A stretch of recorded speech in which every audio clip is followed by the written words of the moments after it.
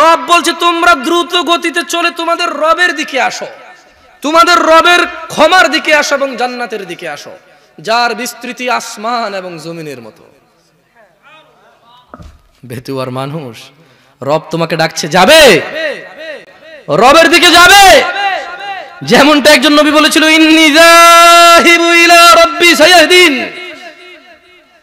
ইন্নি যাহিবু ইলা রাব্বি একজন নবী বলেছিল, আমি যাচ্ছি আমার রবের দিকে। সায়াহদিন, তিনি আমাকে হিদায়াত দিবে। তুমি কি রবের দিকে যাবে? তাহলে শোনো, রব তোমাকে ডাকছে রবের ক্ষমার জান্নাতের দিকে, যার প্রশস্ততা আসমান ও জমিনের মতো। যা রব আল্লাহ ভীরু, যারা আল্লাহকে ভয় পায় তাদের জন্য রেখেছে।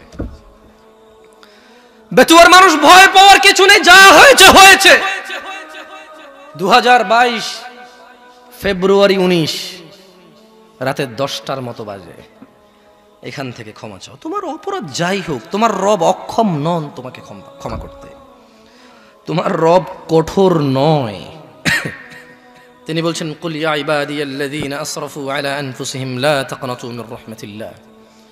মুহাম্মদ সাল্লাল্লাহু আলাইহি সাল্লাম বলুন, হে আমার বান্দাগণ তোমরা যারা নিজেদের উপর জুলুম করেছ, বিদেশে গিয়ে নষ্টামি করেছ, দেশে নষ্টামি করেছ, ক্ষমতা, টাকা পয়সা, আবির্ভাব অথবা নিম্ন শ্রেণির লুকিয়ে মানে যার যেভাবে যতটুকু সুযোগ আছে অন্যায় করার করেছ, এবার এটা হতে পারে যে কোনো ক্যাটাগরির মানুষ। সবাই কিন্তু অপরাধের সুযোগ পায়। এমন নয় যে ক্ষমতা হলেই অপরাধ করেন। অধিকাংশ মানুষ তো ক্ষমতার বাইরেই অপরাধ করে। ক্ষমতায় কয়জন মানুষ থাকে?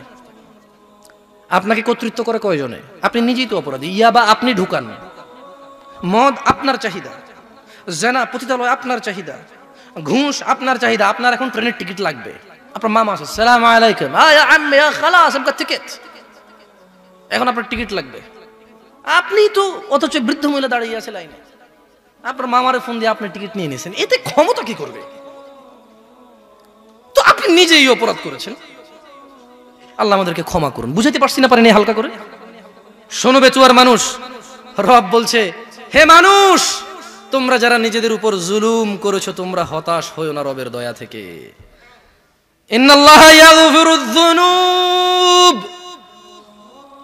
আল্লাহ ক্ষমা করে দেবে তোমাদের অপরাধ। কয়টা অপরাধ? যত অপরাধ আছে। তবু কি ক্ষমা চাইবে না মানুষ? তবু কি মুয়াজ্জিনের ডাকে সাড়া দিবে না? তবু কি দাড়ি কাটার আগে চিন্তা করবে না?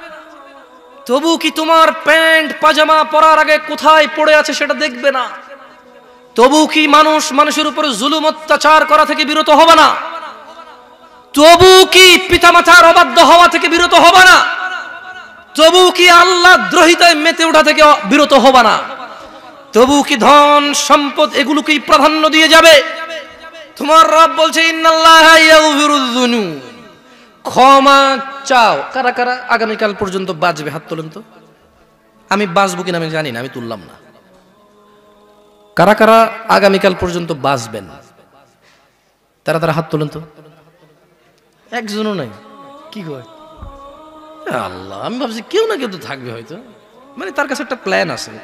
দু হাজার থার্টির মধ্যে কোম্পানিটা স্টাবলিশ হবে, বিয়েটা করব, বিদেশ যাব, ঘরটা হবে, রাস্তা হবে অমুকের মেয়েকে প্রস্তাব দিলে রাজি হবে, অপেক্ষা করো। মানে একটা প্ল্যান আছে। না প্ল্যান করা হারাম কিছু না, করতেই পারে মানুষ, আল্লাহর উপর ভরসা করে। বৈধতা আছে। কিন্তু তুমি রবের এত দয়া থেকে বঞ্চিত হতে চাচ্ছ? মানুষ, শুনো! আল্লাহকে ভয় করো। তিনি কে জানো? তিনি হচ্ছে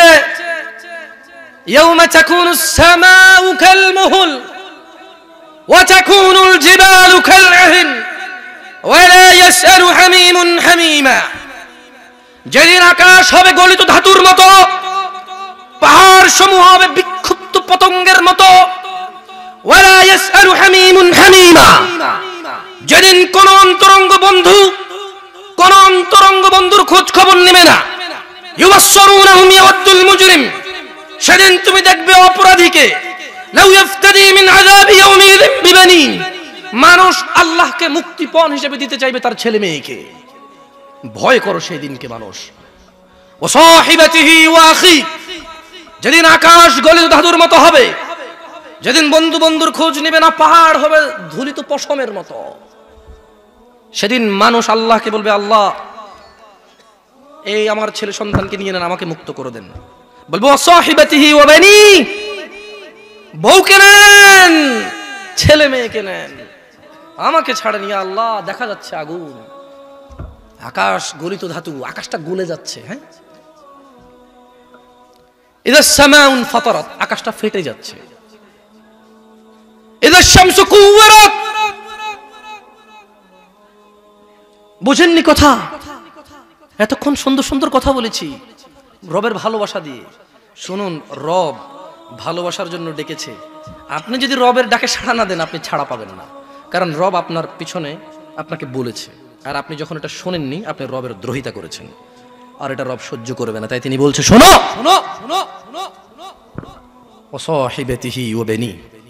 মানুষ তার স্ত্রী অসহিবেতি ওয়াহি তার স্ত্রী আর তার ভাইকে দিবে আল্লাহকে মুক্তিপণ হিসেবে। আমার পুরো খানদান আমাকে আশ্রয় দিত যখন আমি কোনো অপরাধ করতাম। পুরো খানদানকে নিয়ে জাহান নামে ফালান। আমাকে ছাড়েনি বেতুয়ার মানুষ, মহিলা এবং পুরুষ, ভয় করে সেই রবকে। যিনি এত ক্ষমতাবান যিনি বলবে এদেরকে নিয়ে যাও, সুম্মাল জাহিমা সল্লু, এদেরকে শিকড় দিয়ে বেরি পরিয়ে দাও। যিনি এত ক্ষমতাবান, যার সামনে আপনি অপরাধী হয়ে গেলে এটাও বলবেন, ওয়ামান ফিল আরদি জামিআন সুম্মা বলবেন, ইয়া আল্লাহ, দুনিয়া আর দুনিয়াতে যা আছে, এ সব কিছু নিয়ে যান আমাকে মুক্ত করেন। জানেন রব কি বলবে? জি, যে দয়ালু রবের কথা বলেছি, যিনি ডেকেছেন আপনাকে কোরআনের মাধ্যমে, যিনি বলছেন তোমরা দ্রুত গতিতে ক্ষমার দিকে আসো। যিনি বলেছেন, কুল ইয়া ইবাদি আল্লাযীনা আসরাফু আলা আনফুসিহিম, লা তাকনাতু মির রাহমাতিল্লাহ। আপনাকে তিনি একটা সময় দিয়ে অবকাশ দিয়েছেন। যিনি আপনাকে বলেছেন যে, তোমরা নিজেদের উপরে জুলুম করে ফেলেছো, অন্যায় অপরাধে লিপ্ত হয়ে গেছো। লা তাকনাতু রাহমাতিল্লাহ দয়া থেকে তোমরা নিরাশ হয়ো না। তিনি বলবেন, খাল্লা! এত কিছু, এত ক্ষমার দিকে ডাকার পরে যখন রবের দিকে যাবেন না, রব বলবে, খাল্লা! আপনি মরে গেছেন আর রবের সামনে গেছেন, অপরাধ নেই। তিনি বলবে, খাল্লা! না, কখনো নয়। ইন্নাহা লাভা, এটা লেলিহান আগুন নাজ্জাআতাল লিশাওয়া এটা মানুষের মাথার চামড়া খসে দেবে। তাদউ মান আদবারা এই জাহান্নাম ডাকবে প্রত্যেক ওই ব্যক্তিকে যে আল্লাহর দিকে দাওয়াত পেয়েও আল্লাহর দিকে ধাবিত হয়নি। এই ওয়াজ মাহফিল তো শখে শখে শোনেন। আমি তো যাইতে চাই না। চেয়ারম্যান সাহেব ওদুদ সাহেবকে, আব্দুল ওদুদ সাহেবকে জিজ্ঞেস করিয়েন। কয়েকজনকে হয়তো তিনি রেফারেন্স করে আমাকে দাও, আমি দাওয়াত করতে চাই আমি ওয়াজ করতে চাই না এদেশে। মন কিছু করবেন না, আপনাদের একটু বদনামি করে ফেলি। আমি এই দেশে যখন এসেছি, আমি এদেশ বলছি, আপনি আবার ভাবেন না যে আমি অন্য দেশকে ভালো বলি। আমি এই ছেলে, আমি এই দেশ নিয়ে কথা বলব। অন্যকে কি করল আমার নন অফ মাই কনসার্ন আমি খুব ভালো তা বলছি না, তবে খুব দুঃখ পেয়েছি। কেমন? ওয়াজের আয়োজকরাই নামাজ পড়ে না। মানে এই লোক যে আল্লাহ ভীর এখন বলবেন যে জামশেদ ভাই, নামাজ না পড়লে কি আমি আল্লাহকে ভয় পাই না? আরে আল্লাহ বলছে তুমি মুশরিক, আমার জিগাও কে আল্লাহর জিগাও তুমি আল্লাহর ভয় পাও কিনা? আল্লাহ কি বলে? দেখো, আল্লাহর ব্যাপার তোমার ব্যাপার আল্লাহ স্পষ্ট বলে দিয়েছে। আর আমি কি করতে পারি? আমি তো পড়তে পারি, আমি তো তোমাকে কাফের বলছি আমি তো তোমাকে মুশরিক বলছি আমার এই অধিকার নাই। কিন্তু আল্লাহ বলেছে, আল্লাহ নবী বলেছে যে যারা নামাজ আদায় করে না, তাদের মধ্যে মানে মুশরিক কাফের মধ্যে আর মোহাম্মদীদের মধ্যে, মুসলমান মুমিনের মধ্যে পার্থক্য হচ্ছে, মধ্যখানের দেওয়াল হচ্ছে নামাজ। এই দেওয়ালের এই সাইডে এগুলো কাফের মুশরিক যেগুলো নামাজ পড়ে না, দেওয়ালের এই সাইডে এগুলো মুসলিম যারা নামাজ পড়ে। বুঝে আসছে না আসেনি? রাগ হচ্ছে না আমার উপরে? আর কত কিস্সা কাহিনী শুনে জীবন পার করবেন। বুঝেন, গতকাল গত বছর এখানে মাহফিল হয়েছে হয়তো। হয়তো এই পাড়ায় অনেকগুলো মাহফিল হয়েছে, মুসল্লি তো বাড়েনি। মুসল্লি বাড়েনি তো। তা আমার ওয়াজ করতে মন চায় না। কেন যায় না? তা খুব বেশি বেশিটা বুঝে বলে মনে হয় না মানুষ। সেই ধরেন এখান থেকে যদি চিটগং রিটার্নের চিন্তা করি, আবার যদি বিমানে করে যদি ঢাকা থেকে চিটগং যাই, তাও মনে করেন যে পনেরো ষোলো ঘণ্টার জার্নি কম হবে না। বুঝে আসছেন আসেনি তো আজকে আমি সকাল দশটার দিকে বের হয়েছি। এখন রাতের দশটা মানে বারো ঘণ্টা অলরেডি হয়ে গেছে। তার মানে সরি চব্বিশ ঘণ্টার মতো হয়ে যাবে। আমি কালকে ছাড়া তো ফ্লাইটও পাবো না ঢাকা থেকে। দ্যাটস মিন একটা প্রোগ্রামকে কেন্দ্র করে I have spended my whole two days for what আমার কাছে কেন জানি মনে হয় যে এই দেশে ওয়াজ করা যদি, এটা যদি টাকা পয়সার একটা কাজ কারবার না হইতো? আমার মনে হয় না মানুষ আল্লাহকে এত ভালোবাসে, দুই দিন বউ পোলামাইয়া যুবক, সুন্দরী বউ, রাইখা ওয়াজে আসবে এক ঘণ্টা কথা বলার জন্য। না, কেউ থাকতে পারে। তবে আমি ইদানিং ওয়াজ করে আমার এরকম ফিল হচ্ছে। যে কেমন হয় যদি টাকা পয়সা না দেয়? মানে আমি হুজুর না, আমি দায়ী না। দায়ীকে আমি না? আপনাদেরকে দাওয়াত দেবো। তো এটা তো এরকম হওয়া উচিত। এই বেতুয়ার মানুষ একটা মাহফিলের প্রোগ্রাম করেন, কিছু মানুষকে ডাকেন, কিছু নসিহত করি। কিন্তু পক্ষান্তরে কি হচ্ছে, মানুষ পঞ্চাশ হাজার, সত্তর হাজার টাকা দিয়েও হুজুর পাচ্ছে না পাচ্ছে না পাচ্ছে না, তিন বছরও পাচ্ছে না। এরপর আবার পঞ্চাশ, সত্তর হাজার টাকা নিয়ে ঠিক মাগরিবের সময় বলছে যে না, আসব না। সরি আমাকে আরেক জায়গায় নব্বই হাজার দিয়েছে। কি এরকম হয় না? তো এতে কি করলেন আছে? আপনি আজকে এখানে মাহফিল শুনলেন একজন হাফেদ এবং কারি, কথা বলেছে মাগরিবের পরে। রাসেল সাহেব, আমি যদিও ওনার টাইটেলটা পুরো মনে নেই সম্মানী মানুষ আপনাদের, আপনারা যেভাবে ওনাকে শ্রদ্ধা করেছেন, সম্মান করেছেন, আল্লাহ ওনার শ্রদ্ধা অনুযায়ী ওনাকে দিনের পথে রাখার চেষ্টা, তৌফিক দান করুন। তিনি যাতে আপনাদের সামনে যতটা মানে সম্মানিত, আল্লাহ যাতে ওনাকে অতটাই ভালোবাসে, তিনি সেই পথে পরিচালিত হন। বা আপনারা যারা এখানে আছেন, মান্যগণ্য লোকজন, আল্লাহ আমার, আমাকেও আল্লাহর ভালোবাসার পাত্রের অন্তর্ভুক্ত করুন, আমিন। কিন্তু আমি যেটা বলছিলাম আপনাদেরকে, সেটা হচ্ছে মানে এখানে মাহফিল শুনলেন আপনি, আল্লাহ বলছে যে মান জাহান্নাম ডাকবে ওই মানুষকে। যে সত্য কথা শুনেছে, কিন্তু এটাকে পরোয়া করেনি। এটা শুনেছে, বাস শুনেছে। আপনি দেখেন। আপনি দেখেন। আপনাকে আমি দাড়ি রাখতে বলি আমার এটা বলা উচিত না আমার মনে হয়। কারণ যে লোক শিরিক করে, ওর কিসের দাড়ি, কিসের চলা এখানে আল্লাহ স্পষ্ট ভাষায় বলছে যে লা ইয়াগফির আল্লাহ, ক্ষমা করবে না। আইয়ুশরা কাবি একজন লোকের দাড়ি কি সলাত কি জাকাত কি হজ কি, সে যদি আল্লাহর সাথে শিরিক করে।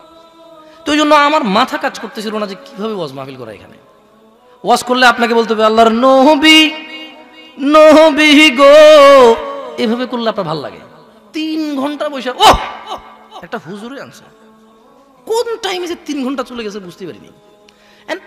যদি এরকম হয় আপনার মাহফিলের আয়োজন, মনে রাখবেন, অনেক টাকা পয়সা খরচ করে এই যে প্যান্ডেলে খরচ দিতে হবে, তা কিন্তু মসজিদের সম্পদ। মাদ্রাসার সম্পদ। আমাকেও দিবে কিছু না কিছু, হয়তো। তা কিন্তু এই মসজিদ মাদ্রাসারই সম্পদ। এই এইটাকে কেন্দ্র করে মাহফিলটা। আমার জীবনের একটা দিন বা দুইটা দিন ব্যয় হয়েছে এই মাহফিলকে কেন্দ্র করে। আপনার জীবনের মাগরিব থেকে রাত দশটা এগারোটা পর্যন্ত ব্যয় হচ্ছে। এটাকে মূল্যবান করে তুলুন। মনে রাখবেন, আপনার মৃত্যুর সময় একটা সেকেন্ড পাবেন না। কয়টা সেকেন্ড পাবেন না? তাহলে নিজের জীবনের গুরুত্ব দিন। মানুষ, শুনো! যা করেছ করেছ বেতুয়ার মানুষ, মহিলা এবং পুরুষ। যত জায়গায় গিয়েছো মসজিদের দিকে ফিরে আসো মসজিদের দিকে ফিরে আসো মানুষ وأن المساجد لله فلا تدعوا مع الله أحدا